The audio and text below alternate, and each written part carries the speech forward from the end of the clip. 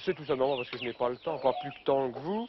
Évidemment, il vaudrait mieux que le petit coup d'huile soit passé alors qu'on range l'outil. Ça, c'est une euh, bêche, une bêche à douille. Très bon outil. Ça, c'est aussi une bêche, mais beaucoup plus courte pour les massifs, pour les massifs d'arbustes. Ça, c'est une bêche qui n'est pas à douille, une bêche américaine. Je préfère travailler avec une bêche à douille, mais c'est tellement plus difficile à remmancher. Et puis, comme j'ai l'intention d'aller planter avec vous quelques pommes de terre ce matin, eh bien, je vais donner un coup d'huile à mon croc qui nous permettra, vous allez le voir, de faire les trous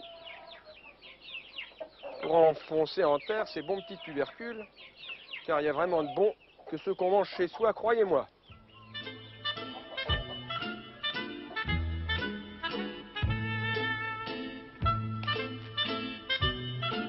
Toute l'astuce, regardez bien, consiste tout simplement à cacher le plant que l'on vient de planter avec la terre de celui qu'on va planter.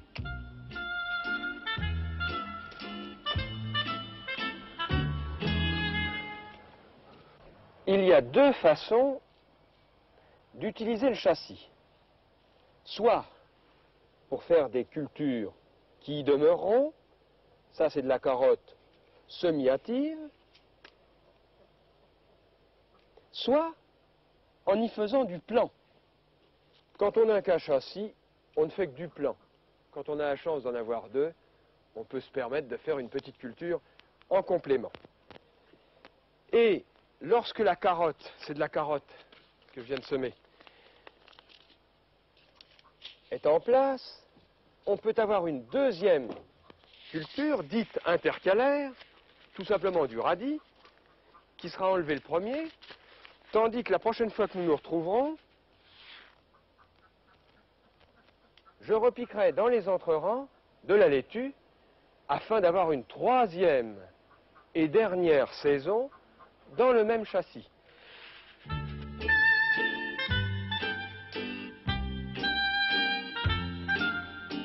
Un tout petit coup de batte à nouveau, la graine, je vous l'ai déjà dit, doit voir repartir son semeur.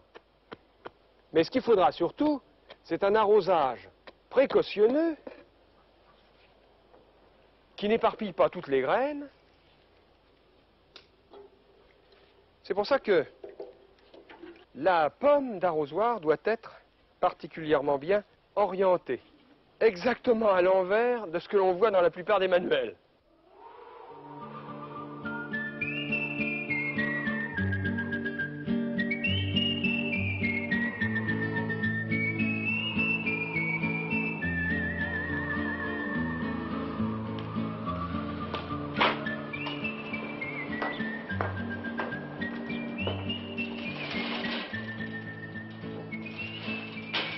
En avril, plus que pendant tout autre mois, il l'a fait beau, il a plu, et le jardin a continué, et le jardinier a toujours été occupé, que ce soit à l'extérieur ou à l'intérieur.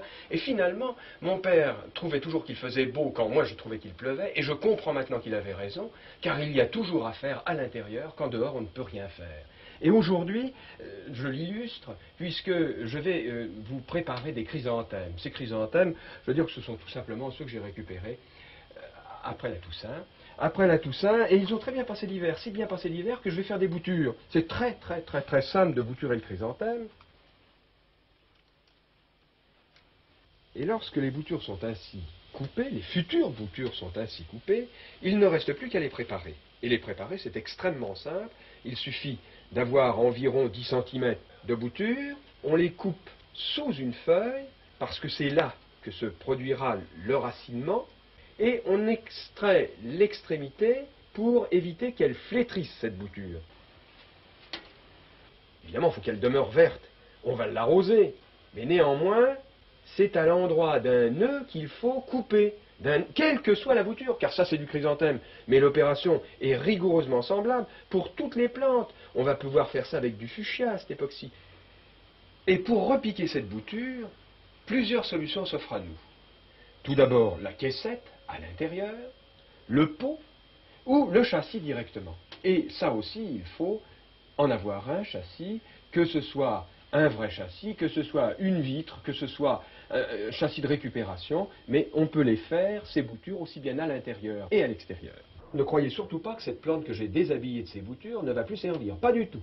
Il suffit maintenant, avec une bêche, avec une serpe, de la couper en quatre, c'est de la division de touffes, et de la replanter, de replanter ces quatre touffes faites, ces petites touffes, au jardin, directement pour faire, cette fois-ci, de gros pieds de chrysanthème.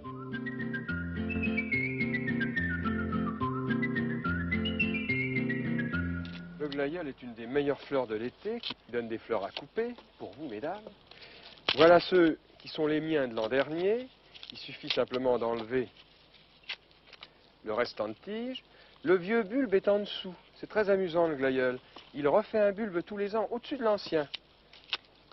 Et je vais planter seulement le rang central, parce que le glaïeul, il faut le planter en plusieurs saisons, à plusieurs fois hein, dans l'année, de façon à ne pas les avoir tous en même temps, parce qu'autrement, ils fleurissent tous ensemble. Dernière euh, précision, le, glaïeul doit avoir, euh, si vous voulez qu'il reste beau, un ou deux fils. Alors on plantera un piquet à chaque bout, on mettra une ficelle et, on mettra des petits piquets de rappel de façon à ce que le, glaïeul se tienne parce qu'il est très dégingandé, il est très en hauteur et euh, il risque de, de choir. Et puis ça, c'est une petite promotion. Je me suis dit que j'en rajouterais bien quelques-uns. Alors très simple, très simple la plantation, très très simple, sans trop les enfoncer juste ce qu'il faut. Ne vous trompez pas de sens.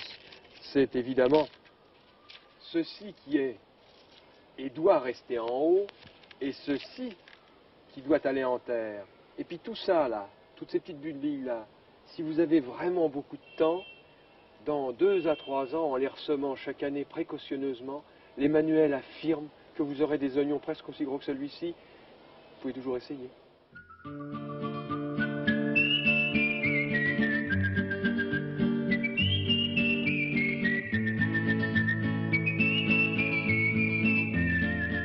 Dahlia est une de mes plantes préférées, pour des tas de raisons, et en particulier pour sa simplicité de culture et sa simplicité de multiplication. La preuve, c'est que chaque fois qu'il y a une tige, auquel est bien sûr attachée une racine, eh bien nous allons pouvoir faire un nouveau pied. Soit, tout comme je viens de le faire, par écalement, soit par coupe, comme ceci, avec un bon couteau, chaque fois que l'on a une portion de tige et une portion de racine, on a un nouveau pied. Pour avancer la végétation de mes je vais en mettre quelques-uns sous ce châssis, simplement les uns à côté des autres pour favoriser la germination. Quand on les plantera dans 15 jours, 3 semaines d'ici, vous verrez les bourgeons déjà apparus et nous aurons ainsi une saison de dahlias plus hâtives que les dahlias non germés, qui seront d'ailleurs les plus nombreux, car je n'ai pas, et vous n'avez pas non plus, suffisamment de châssis pour vous permettre cette fantaisie. Voilà, c'est très simple, un tout petit peu de terreau là-dessus, l'eau aidant, et un grand coup de soleil, vous verrez que ça sera exactement comme je vous l'ai dit. Tous les amis qui viennent ici sont persuadés que les biberons de mon petit-fils, c'est la chef qui les assure. Je sais que c'est pas vrai du tout, parce que c'est encore une demoiselle. Et que c'est un petit peu comme pour les dames. Une chef, ça fait du lait que quand ça a des enfants. Aussi, on va tâcher de lui trouver un mari. Et puis, puisqu'on va chez des amis tout de suite à Connéry, eh ben, après tout, sur la route, on va peut-être en trouver un.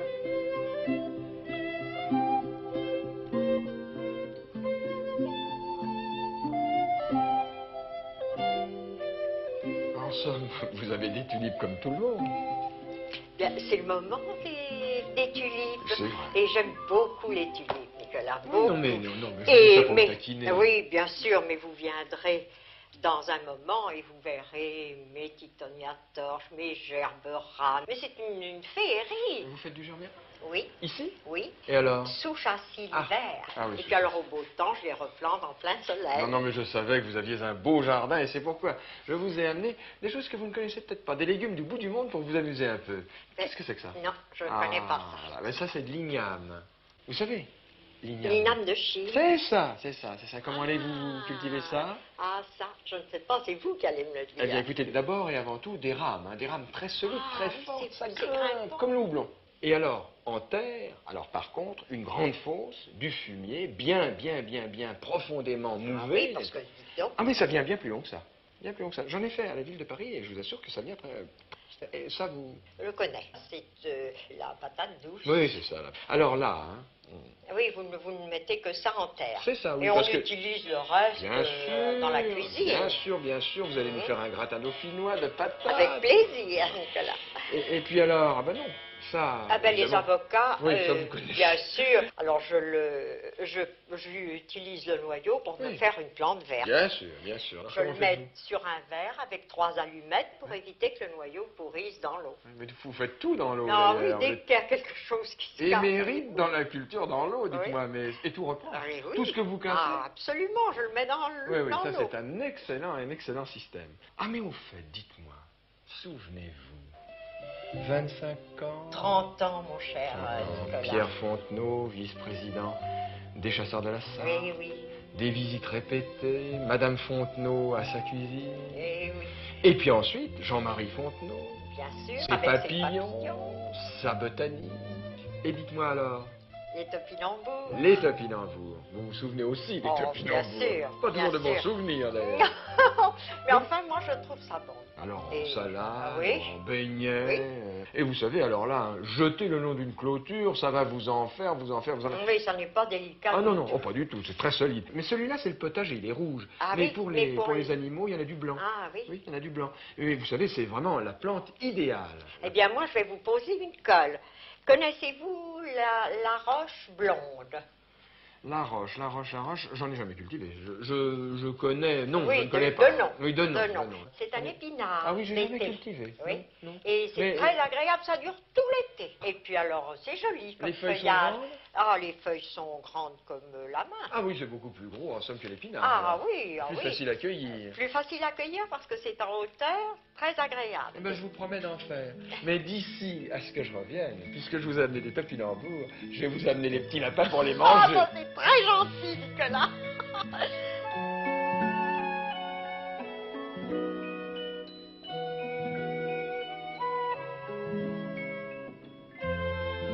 Entre, Nicolas, entre. Qu'est-ce que tu fabriques là Ben, je suis en train d'étaler des papillons qu'un ami m'a ramenés de Haïti. D'Haïti, t'as besoin d'aller jusque-là pour faire une collection de papillons Non, et les Antilles ne sont pas très riches en papillons, il faut mieux aller Alors, dans la... Non, non, mais c'est parce que ça lui fait plaisir de m'avoir ramené ça. Mais je préfère aller chasser les papillons dans le bassin méditerranéen, en Provence, en Corse, beaucoup plus riche et beaucoup plus intéressant. Il y a beaucoup de papillons en Corse. Il n'y a pas beaucoup d'espèces, mais il y a beaucoup de papillons, et des papillons très intéressants parce que ce sont des endémiques, c'est-à-dire des papillons qui n'existent que là. Corse Comme le papillon hospiton, qu'on trouve dans la région de Venaco, ce papillon également, le Pandora, Corse également, mais qu'on trouve également en Provence, comme l'Alexanor, qu'on trouve également en Provence. Mais enfin, on, a- on peut trouver des papillons partout. Il y en a de la Laponie au Sahara, et on peut en trouver aussi dans son jardin. Dans son jardin. Absolument. Moi, j'ai commencé toute ma collection, toute la base de ma collection a été faite dans mon jardin. Et il y a- au, mom- au beau temps, il y a énormément de papillons. Sur les, qui volent sur le attire Ah oui énormément les papillons. aux papillons. Et La carotte, quand elle est fleurie, Ah elle oui, attire oui, beaucoup oui, de oui, c'est papillons. vrai qu'on voit des papillons, c'est un carotte. en principe, d'ailleurs, toutes les plantes mellifères attirent les papillons. Ah mais parfait, parfait, tu sais que j'ai des abeilles. Et pour mes abeilles, je maintiens au jardin beaucoup de thym, beaucoup de poireaux, Eh oui. qui au moment des fleurs, effectivement, attirent les papillons. En somme, euh, d'après toi, je vais pouvoir commencer ma collection? Ah, mais je te le conseille vivement. Va t'acheter un filet. Ah ben écoute, j'y vais de seul pas.